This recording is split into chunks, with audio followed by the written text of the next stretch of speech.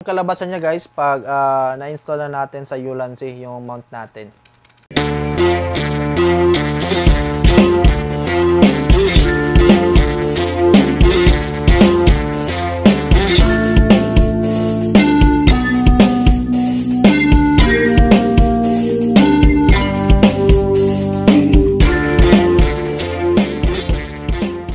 What's up YouTube? Kumusta? Kumusta? My name is Hiro Arigo at welcome back ulit sa ating channel. At sa video ito, may isi-share lang ako sa inyo. At ito yon. Ito yung Ulanzi extension tripod. Ah, sa mga nakapanood ng last video ko, may nat may na-mention ako na gagawa ko ng video tungkol sa isang tripod. At ito yon, ang Ulanzi extension tripod.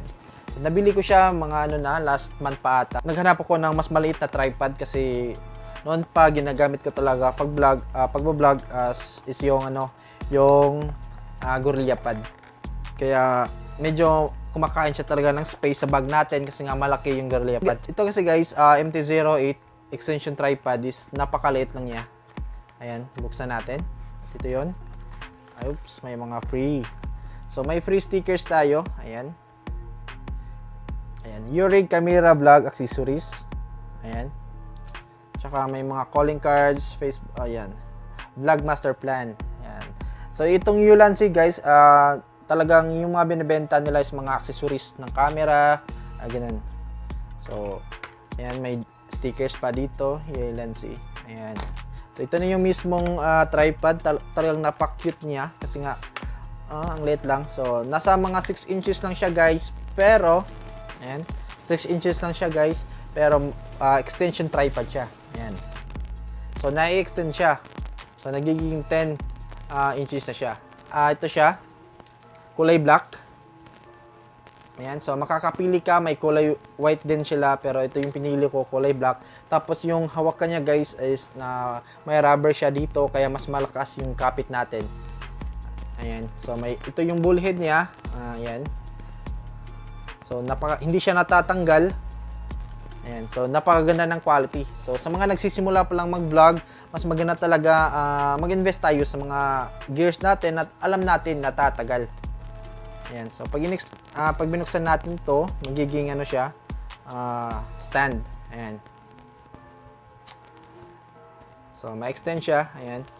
Yun nga guys, ah, ang Ulanzi MT-08 is pwede lang siya sa mga mobile phones, ah, action camera, GoPro, mirrorless cameras, pwede din siya. Ah, sa DSLRs naman, sa mga gumagamit ng mga DSLRs, ah, hindi ko siya ma-recommend kasi nga napakalit lang siya, hindi siya bagay para sa mga DSLRs. Para ma-mount natin ang mobile phones natin, syempre kailangan natin ng mount. Ayan, so ito yung nabili ko sa Shopee. So sa mga nakapanood ng huli kong video, ito, ito yon. Ah, yung Ulanzi nga pala guys is nagbebenta din na ganito. Pero yung uh, magkahiwalay na order to kaya hindi ko na, na naka-order na ako nito. Tapos hindi ko na hindi ko agad napansin na meron pala yung Ulanzi na katulad nito kaya nga solid naman nito, talaga namang ah, matibay din. At yun nga ilalagay na natin. I-attach na natin para ayan, malagay natin yung phone. So ayan. Ayan muna, ayan. So ito yung kalabasan niya guys pag ah, na-install na natin sa Ulanzi yung mount natin. Ayan sa mga naghahanap ng uh, bagong tripod nila, mas maganda talaga yung itong uh, alam natin na quality at magagamit talaga natin. Marami namang brand dyan na talagang sulit din. Tsaka ito lang, Ulanzi uh, choice ko to. Share ko lang. Tsaka ito nga, Ulanzi, share ko lang. Ay, baka isa na rin ito sa mga pagpipilian nyo.